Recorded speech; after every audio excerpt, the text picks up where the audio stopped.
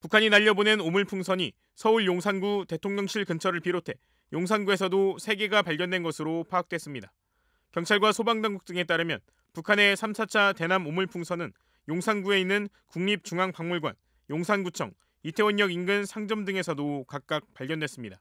소방당국은 9일 오전 5시쯤 국립중앙박물관 북쪽 주차장 인근에 오물풍선으로 추정되는 물체를 발견했다는 신고를 받은 것으로 알려졌습니다. 국립중앙박물관과 대통령실의 거리는 직선으로 약 800m 정도인데 오물 풍선에는 쓰레기 등이 담겨 있었던 것으로 알려졌습니다. 소방당국은 또 10일 오전 0시 10분에는 이태원동에서 오전 9시에는 용산구청 옥상에 풍선이 떨어져 있다는 신고를 받았다고 밝혔습니다.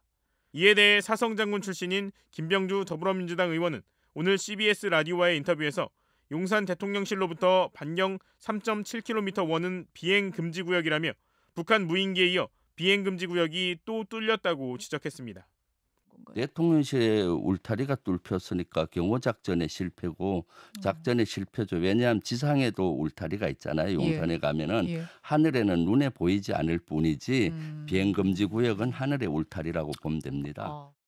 김 의원은 그러면서 비행 금지 구역에 들어온 물체는 바로 격추시켜야 한다며 대공진지를 포함해 대통령실 주변에는 시스템을 다 갖추고 있는 만큼 요격 매뉴얼을 정비해야 한다고 주장했습니다.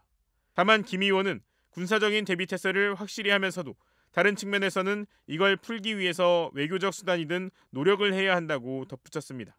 국민의힘 유승민 전 의원은 풍선에 매달린 물체가 오물인지 생화학무기인지 열어보기 전에는 아무도 모른다며 우리 군은 풍선이 다수 국민이 거주하는 지역까지 오기 전에 무인 항공기든 드론이든 효과적 대응 수단을 통해 격추해야 한다고 강조했습니다. 반면 국정원장 출신인 더불어민주당 박지원 의원은 북한도 보내지 말아야 되지만 우리가 먼저 대북 전단을 보내지 않으면 북한에서도 오물을 보낼 이유가 없을 것이라며 현 정부의 남북 대화 기피와 강경 일변도 정책이 문제라고 주장했습니다.